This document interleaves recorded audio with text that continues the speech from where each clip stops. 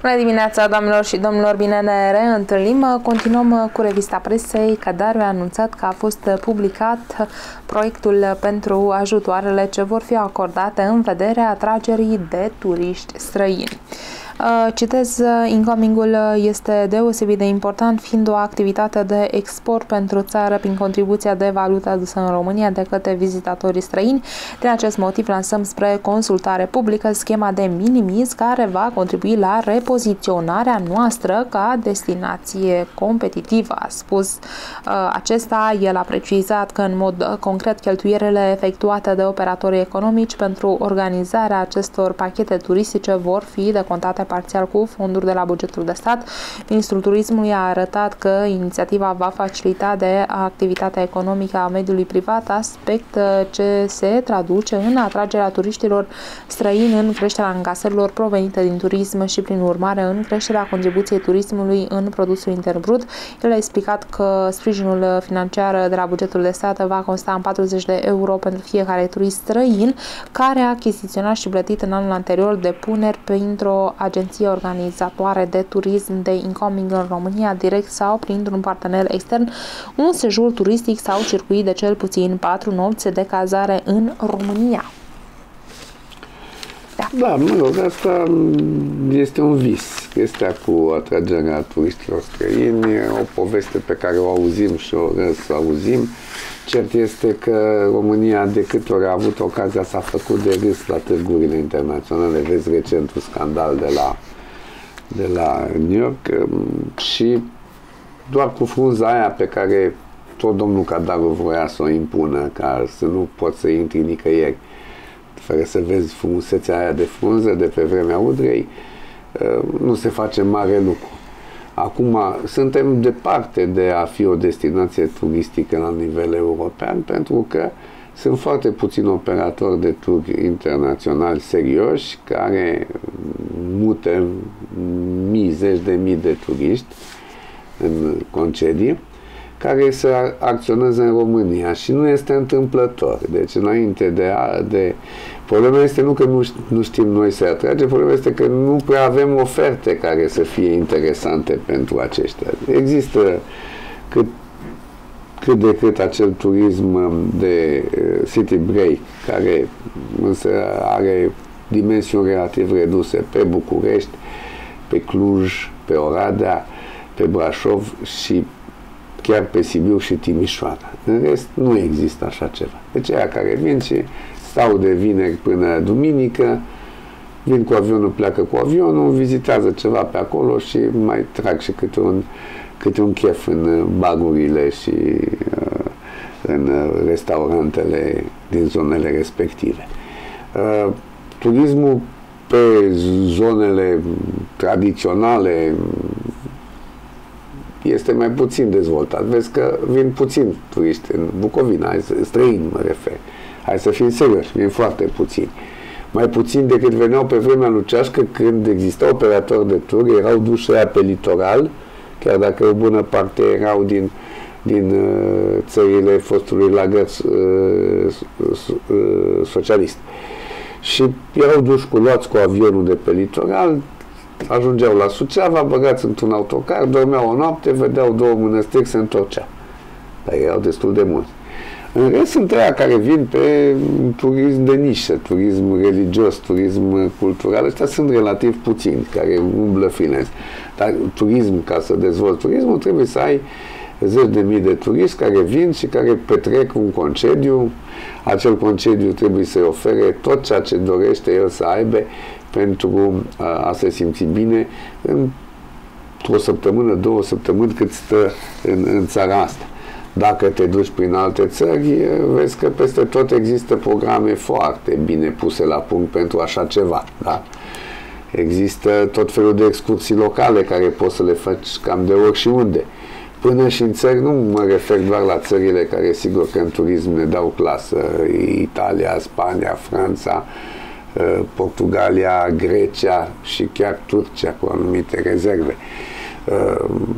Ă, chiar eu am fost în primăvară în Maroc și am avut surpriza să văd că acolo există o ofertă foarte interesantă și există dinamism. Poți, dacă vrei să vezi ceva, există posibilitatea să găsești acolo niște excursii locale care să te duc să, să vezi. Dar nu, nu există mare lucru.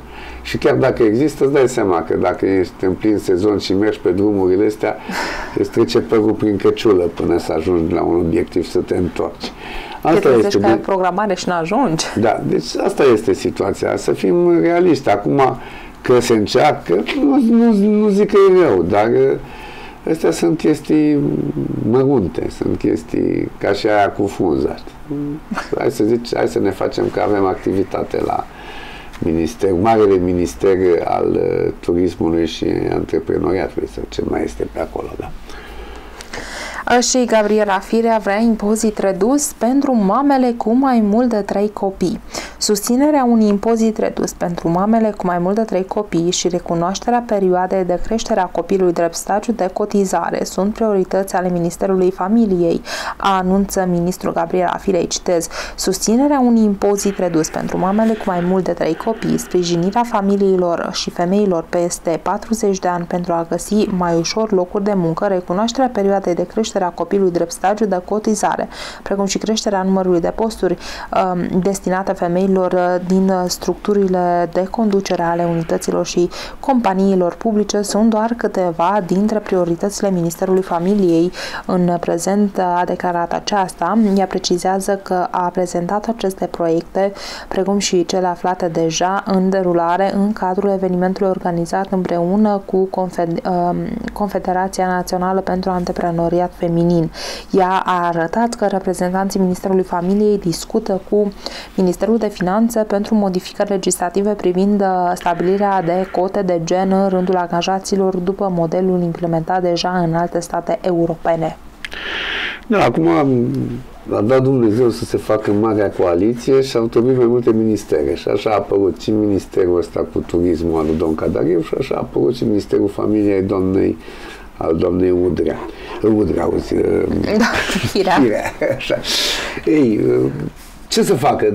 Altceva decât ceea ce e enumerat acolo nu poți să faci la Ministerul Familiei, să vedem dacă ele, aceste măsuri propuse vor primi concretețe. Deci dacă mai concret, mai limpede, dacă Ministerul de Finanțe va grea și va, va găsi banii necesari pentru așa ceva. Și mergem uh, mai departe, cel mai mare indice robor din ultimii 9 ani. Indicele robor a crescut ieri până la cel mai înalt nivel din ultimii 9 ani. Recordul a fost înregistrat ieri potrivit statisticilor. Este cel mai mare nivel înregistrat din 2013 până în prezent. Nivelul uh, record uh, au atins ambii indicatori, indicele la 3 luni și indicele la 6 luni. Astfel, robor la 3 luni a crescut la 5,21 față de 5,20 nivelul înregistrat la ședința precedentă. Robor la 6 luni a crescut la 5,32%. Precedentul record a fost înregistrat în martie și aprilie 2013. Veste foarte proastă pentru că va afecta în mod direct un număr mare de cetățeni care au luat credite și în principal pe cei cu credite imobiliare care și așa plăteau apartamentul ăla de vreo două ori, acum îl vor plăti de vreo trei ori. În general, și a crescut și, și rata de referință a dobânzii.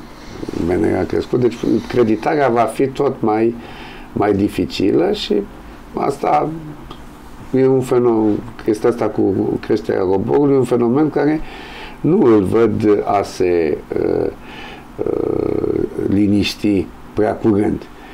Unde mai pui că România continuă să fie campioană la împrumuturile de pe piața financiară externă la dobânzi foarte mari.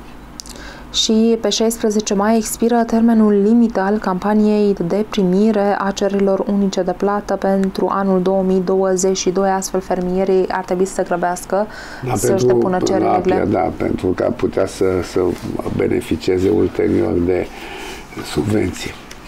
Și mă gândeam uh, ca pe final să vorbim un pic despre un scandal. Da, bun, și ce scandal. și ce scandal. Uh, este vorba despre ministrul Novak, care a declarat marți că hocheriștii din echipa națională a României, care au cântat alături de Galeria Maghiară în ținutului secuiesc la finalul partidei cu Ungaria de la Campionatul Mondial din Slovenia, nu au lezat cu nimic imaginea României. Asta crede domnul ministru. Da, liderii PSD au reacționat vehement după ce hocheriștii au cântat imnul ținutului secuiesc, cerând să se discute subiectul în coaliția de guvernare. Citez, eu cred că reacția este una deplasată, exagerată. Băieții au cântat efectiv după competiție, după evenimentul oficial. Trebuie să știe toată lumea că nu au cântat în locul imnului României sau în partea oficială a competiției când s-a terminat competiția. Galeria uh, începând să cânte. Știe toată lumea că 90% din echipa națională a României provine din Harghita și vă dați seama că sunt etnici la maghiari. Hockey, la hockey, da. Uh, galeria a început să cânte și ea au cântat alături de ei țin, imnul ținutului secuiesc, ceea ce pentru noi, din punctul de vedere al Ministerului, este nimic care lezează într-un fel imnul statului, principiile. Uh, este vorba de o manifestare a lor, este vorba despre cultura maghiară, despre sentimentul lor și nu s-a lezat nimic în imaginea României, a declarat uh, Novak, uh, referitor la decizia Federației Română de Hockey pe gheață, care a convocat Biroul Federal pentru a analiza incidentul din Slovenia și sancționarea jucătorului dacă va fi cazul, Novak a afirmat că prioritar în hockeyul românesc ar trebui să fie formarea unei echipe naționale competitive. Ministrul Sportului a comentat și prezența ministrului mediului Țancoș Barna în galeria echipei ungare, afirmând că acesta este un împătimit al hockeyului. Uh, și se mai vorbește și despre situația care s-ar schimba în cazul în care echipa națională de hockey a României ar mai avea mai mulți uh, jucători de origine română. Și președintele Federației Române de Hockey um, a declarat luni că va convoca de urgență biroul federal în care vor fi analizate filmările în care componenții echipei naționale a României stau drept în fața galeriei Ungariei la meciul direct uh, de la campionatul mondial divizia 1 grupa A. Da, acum Tragedia cea mare este că echipa României a retrogradat în Liga 3 valorică cu ocazia acestui campionat mondial, care a condus și la o situație nefirească. De nu mi se pare normal ca uh, atâta vreme cât au optat să reprezinte uh, România, chiar dacă sunt etnici maghiari, trebuiau să se abțină de la acel final care însă, na, acum ce se întâmplă prin uh, Harkov, Harghita Covazna, știm prea bine că există încă minți înfierbântate care mai cântă imnul ținutului secuiesc. Da? Și la hockey este cel mai bun prilej, că aici chiar ei au întietate, adică uh, acolo s-a și investit destul de mult și cu ajutorul statului maghiar în patinoare, în așa, este și o tradiție tradiția care exista prin București, Galați, Brașov s-a muiat și uite că așa avem această situație în care echipa națională e formată în mare măsură de jucători din, de la echipele din Harghita, Covasna, Edici, Maghiari. Dacă m-am uitat pe lot, mai sunt și niște uh, ucraineni și ruși naturalizați aici. Foarte puțini români. Sigur că asta nu e vina nimănui decât a celor care nu au dezvoltat acest sport așa cum se cuvine. Acum era de așteptat ca toată această situație nefirească, că e o situație nefirească ca naționala unei, unei țări să participe la show-ul uh, galeriei care, na, imnul ăla este un imn redentist, hai să fim serioși, nu? Bun, deci e nefiresc.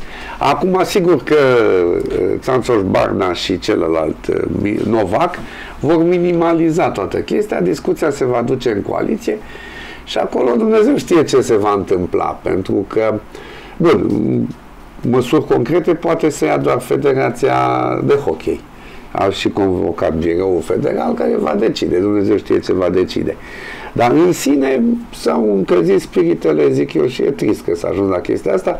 Deci durerea cea mare e că am retrogradat în al treilea eșalon uh, uh, valoric, știi? În care alții, na, sunt mândri ei că numai maghiarii sunt în echipa națională, dar uite că au retrogradat. Știi? Bun, da, sunt, de exemplu, jucători din România care merg și joacă la alte loturi din alte țări și dacă câștigă un premiu sau și ascultă imnul țării respective. Adică da, poate fi comparată situația. Nu, da, categoric, categoric. Nu. Deci asta e situația. Situația e nefirească, dar era de așteptat să se întâmple așa. Adică nu mă miră cu nimic. Acum, dacă UDMR-ul va forța uh, nota în raport cu chestia asta, s-ar putea să aibă surprize, că la marea majoritate care există, UDMR-ul nu mai e așa de pus în să, ca să le închizi gura că la acele veșnice povești când nu erau la guvernare în puținele momente, cum că uh, maghiarii ar fi izolați și asupriți. Ceea ce mă îndoiesc că este așa. Uh, da, asta e povestea. Adică un succes major că s-a retrogradat a fost întărit de această atitudine a unor uh, membri ai echipei naționale care uh, s-au dedat la o chestie Păi nu trebuie să o facă, trebuie să vă atâta minte în cap, să nu se bage în chestia aia, că oricum nu dovedeau nimic. Au dovedit că au retrogradat. Asta e singurul că au dovedit. da. Că s-au mai dus și au mai cântat și cu galerie, e chiar penibil, știi? Adică am luat și bătaie, dar și suntem mândri. da. Eu vă mulțumesc tare mult. Vă aștept și mâine dimineață să vorbim despre din revista presei, mai ales că primarul Ion Lungu are și conferința de presă. Dai seama că acum va ieși întărit după periplu pe la momentul sfânt, vine acum și ne da, așteptăm să vedem ce de declarat și discutăm mâine. Sigur. Vă mulțumesc tare mult pentru prezență. În continuare la TV Plus Regional putem să urmărim pasarea de sănătate, sfatul utile, horoscop, Suceava într-un minut și alături de profesorul Petru Tomegea, Învață Românește. Vă mulțumesc foarte mult pentru atenție, zi frumoasă, la revedere!